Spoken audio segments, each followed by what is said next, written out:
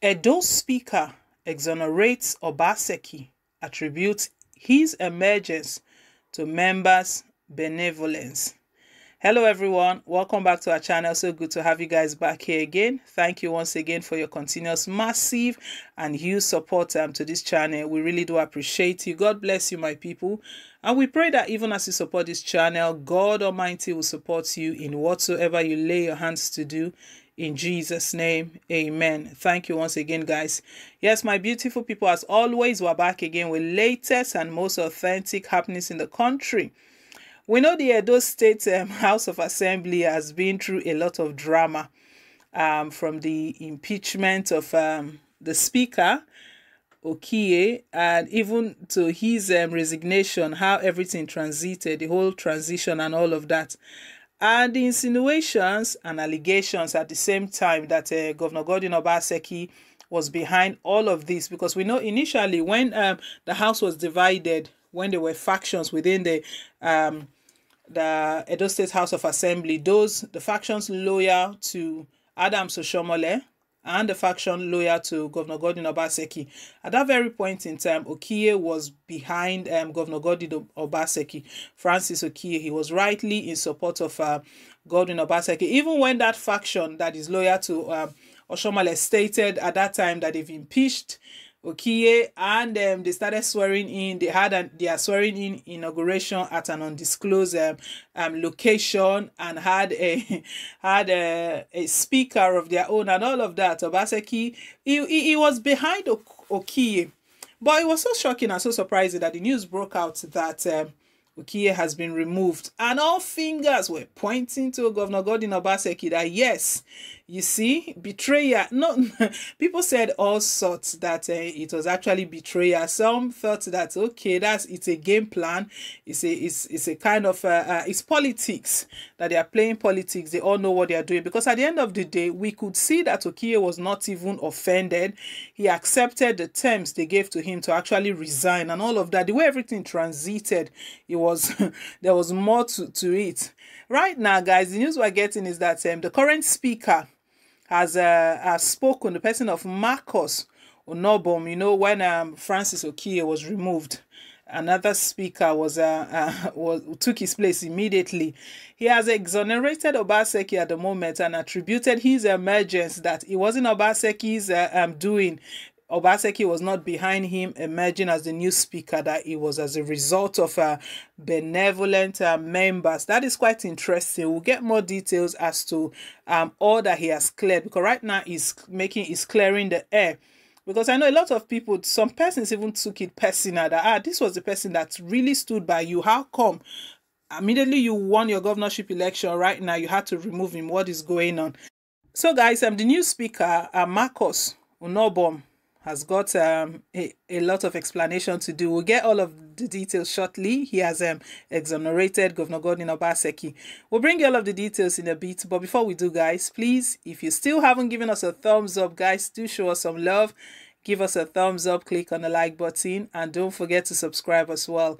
Hit on the subscribe button. It really does mean a lot to us. Thank you once again. Yes, let's jump into the news now and grab all of the details.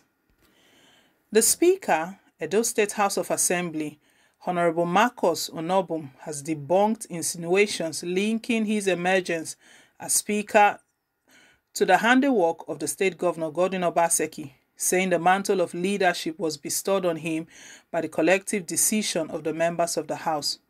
Onobun disclosed this while speaking with newsmen in Benin City, the state capital, said although the assembly is restructured to ensure Obaseki succeed, the House would not also hesitate to discharge its statutory functions of checkmating the executive in a non-confrontational manner. Honorable said, Obaseki never masterminded my emergence. We are an arm of government and independent, and like I said earlier, the support I got was from the overwhelming members of the House, and you can attest to the fact that the way the House is run now, the governor tried as much as possible to allow the business run without interference.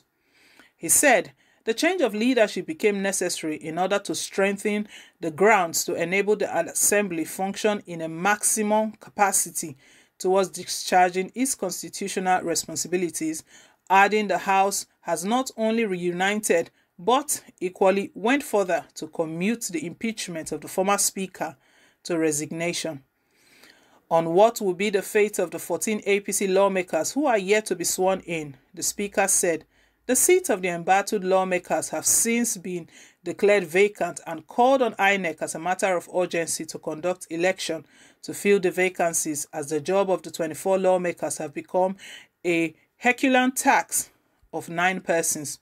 We're looking forward to having a complete house, and that is why I want to use this opportunity to call on INEC to quickly conduct elections to fill the vacancies and help the House to complete 24 and all the constituencies represented.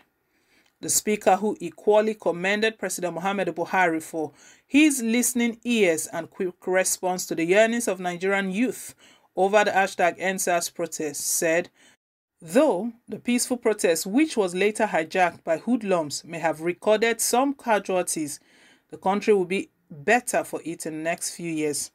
I will tell you that what has happened now may have cost us so much casualty, but in a few years from now, taking the right steps, those confrontations, those agitations, those requests from the Nigerian youth, the country will be better for it.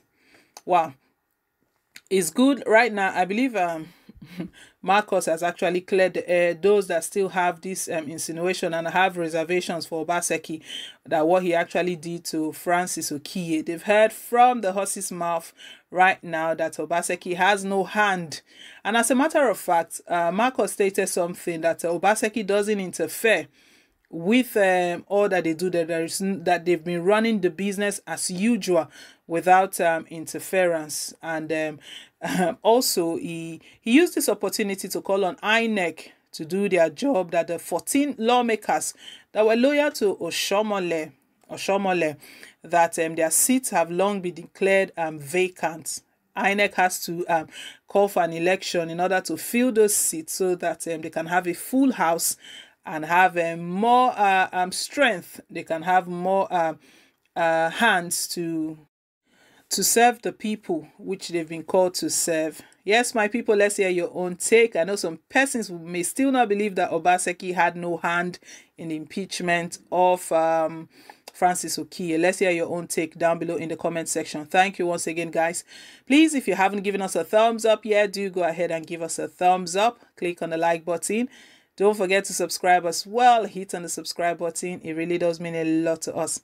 Till I come your way again with more updates. Bye for now and God bless.